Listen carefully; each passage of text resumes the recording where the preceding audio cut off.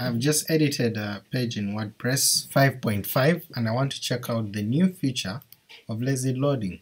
While using lazy loading, your images only start loading as you get closer to the image, let's say when the text gets into particular view of your browser.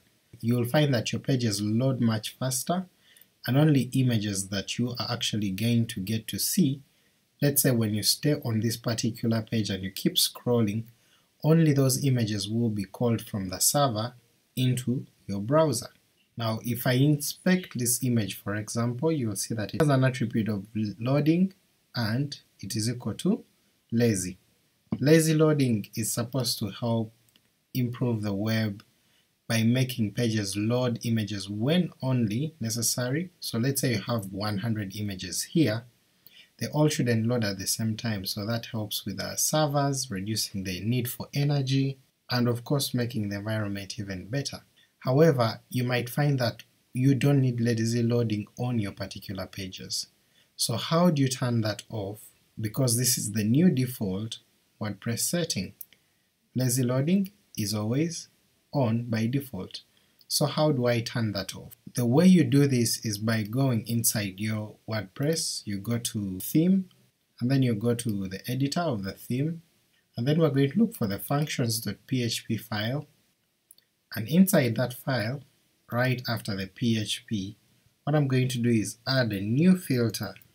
So we'll say add filter, and inside here we just need one particular filter for us to actually do that and this filter is WP lazy loading enabled. Now what we're going to do is we need to return this as false. So what I'm going to do is employ the WordPress function which is uh, underscore underscore return underscore false. So what this will do is that this function will return false to this uh, particular filter hook and then lazy loading will be turned off. So all I need to do is just update this file, and then when I come back to my page and reload it, if I go and look at one image, just inspect the image, you'll actually see that we no longer have lazy loading there.